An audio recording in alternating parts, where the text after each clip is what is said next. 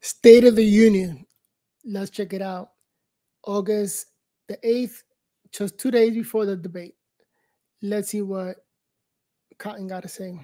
Is a supporter of Donald Trump's Republican Senator Tom Cotton. Thank you so much for being here. Nice to see you in person. Thanks, Dan. Good to be with you. I, I want to start with some of the endorsements that Kamala Harris got this week, particularly from former Congresswoman Liz Cheney and her father, the former Republican Vice President Dick Cheney. Uh, we were talking before uh, in the break. I... Two Republicans that are just sellouts and want to keep the current administration at, on top. Covered the Bush Cheney administration. I traveled a lot with Dick Cheney. Uh, one of the most conservative uh, Republicans alive today. It's really remarkable that he endorsed a Democrat. What does that tell you about Donald Trump? Well, it was a remarkable time in politics. You have Dick Cheney endorsing a Democrat, and you have a Kennedy endorsing a Republican. I, I, think what it tells us is that there's a lot of ferment in American politics, but in the end, endorsements are not going to make the difference in this race. What's going to make the difference is their records. This is a very unusual presidential election. We have a former president running for office, first time in more than 100 years. People remember that when Donald Trump was in office, prices were low, wages were high, we had peace and stability around the world. We all have money in our pocket times were much, much better. And I hope more and more people wake up. It's not about the blue team or the red team. It's about how you were when he was in office and what he's going to be bringing next time he comes back to office. Kamala Harris, as vice president, has brought us record high inflation. We have a wide open southern border, and we have war everywhere you turn around the world. So I know that endorsements sometimes make news, but most Americans are going to be making their decisions based on the records of these two candidates. People remember that we had good times with Donald Trump. Kamala Harris and Joe Biden have brought us very bad times. I hear you about endorsements. We don't really know the impact that they have all the time.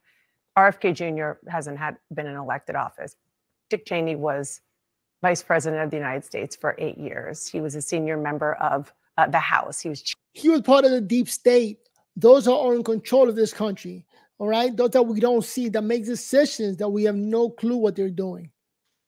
Chief of Staff to Gerald Ford. He worked tirelessly to advance Republican policies for a long time. You don't think his uh, his endorsement of a Democrat with that kind of pedigree is going to make a difference with no, swing Dan, voters? I really, I, really don't. I, I or mean, never Trump voters who weren't sure about Harris. Well, I mean, some of this is probably that Donald Trump beat his daughter in her last election by 39 points.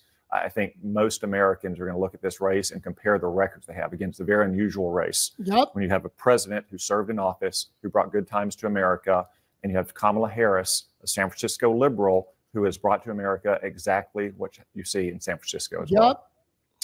I want to turn to a, a, very different topic, and that is something that the Justice Department uh, said this week. They detailed a Russian government effort to stoke divisions in the U.S. using front Russia, Russia, Russia, another Russian hoax. And people just got to wake up and realize that they keep doing this every single election. Like, are you just calling us stupid to our faces? Like, Russia, Russia, Russia. Come on now. Organizations and social media, prominent right wing influencers like Dave Rubin and Benny Johnson, uh, who have ties to Tenet Media. Now, that's a company that the Justice Department says was being funded by Russian operatives. You sit on the Intelligence Committee. How worried are you that right wing influencers, people who do have an impact on your constituents, you know what? I wish I would have got some of that $10 million. That's insane. You're telling me that with $10 million they can influence the election? Again, another Russia, Russia, Russia hoax. Let's see what he says are being funded either directly or indirectly by the Russian government in order to make an impact on this election? Well, first off, Dana, we haven't been in session, so I haven't seen any intelligence about this matter. I've only seen the allegations I've read in the newspaper. Um, people should not knowingly take money from the government of Russia or Iran or China or any other adversarial nation to try to influence the election. But I also think it's fair to say that uh, a few memes or videos in the vast sea of political commentary is not going to make much of a difference. Exactly. Thank you. In this election, nor has it in past elections as well. What did make a difference in the last election is the lies about Hunter Biden's laptop. that more than four dozen former intelligence officials lied about yep. in the middle of that campaign. Yep. And most networks, to include this one, bought that lie hook, line, and sinker.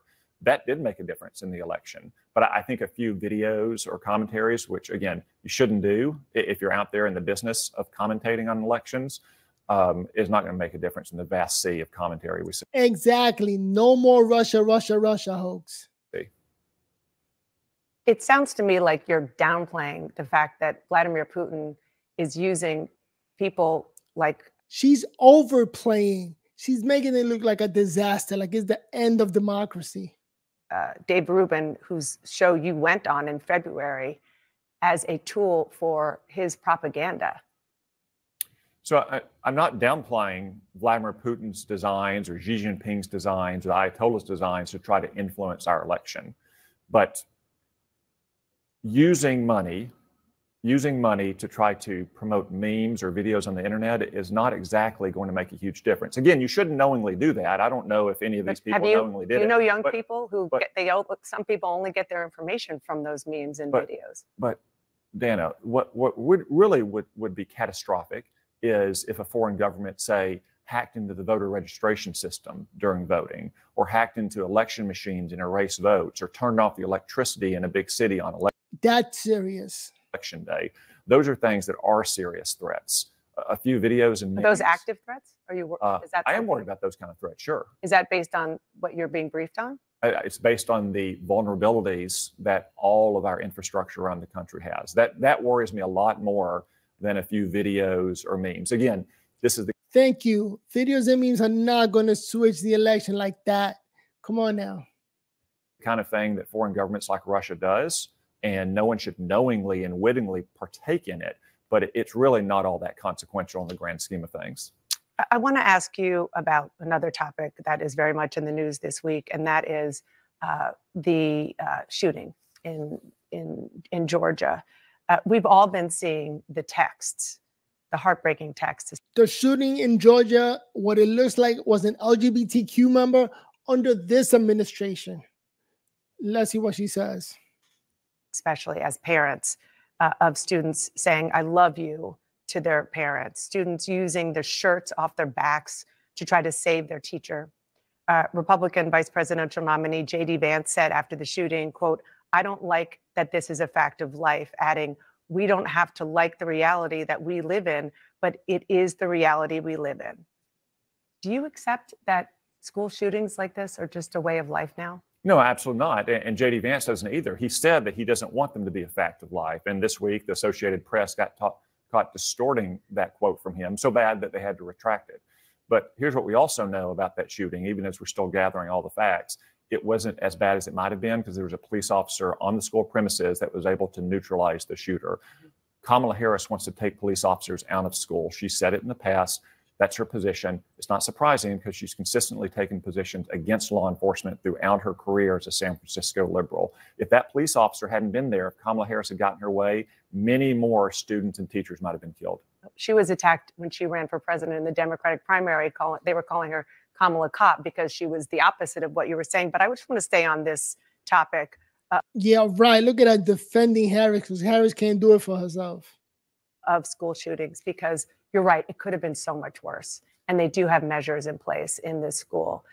But the fact that there are mental health problems, and we don't know exactly what was going on with this 14 year old, I mean, 14, um, but there are mental health problems all across the world right now. It's bad.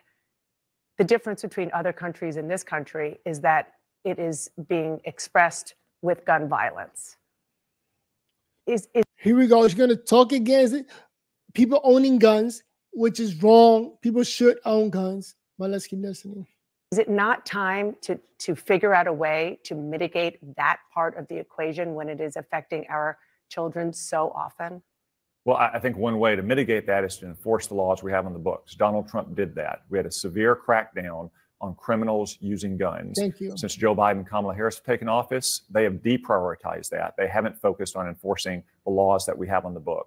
They focus on trying to take guns away from law abiding citizens. That's not going to solve our crime problem. What will solve our crime problem is actually cracking down on gun crimes. They've directed U.S. attorneys in many cases not to pursue gun charges because those gun charges come with stiff mandatory minimums, which Kamala Harris opposes. So are these are these some of? I mean, do you see any action in the in the offing No. at all in the wake of this once again, or is it just going to be enforce the laws on the books?